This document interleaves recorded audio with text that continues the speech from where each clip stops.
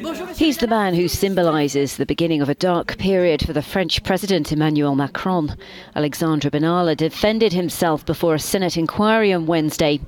This former security officer for the president was fired after video showed him beating May Day protesters.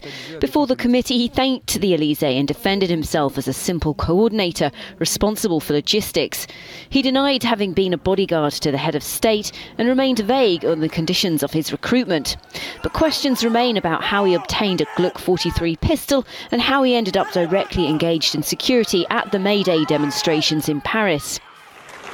Since the controversy, Macron's entire summer's been marred with misfortune.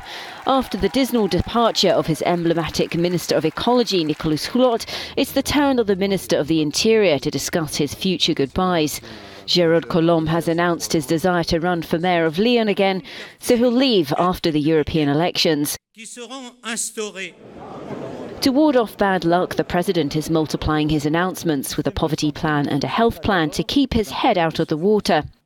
When the Benalla scandal erupted in mid July, Emmanuel Macron described it as a storm in a teacup. But two months later, we can see that this case has seriously impacted his credibility, not only in France but also in Europe. After Benalla, the resignation of Nicolas Hulot, and bad economic figures for the country, European leaders have begun to doubt his ability to reform France and Europe. More than his charm, he'll need very good arguments to convince his European counterparts that he's still the man for the job. Stéphane De Vries pour Euronews à Paris.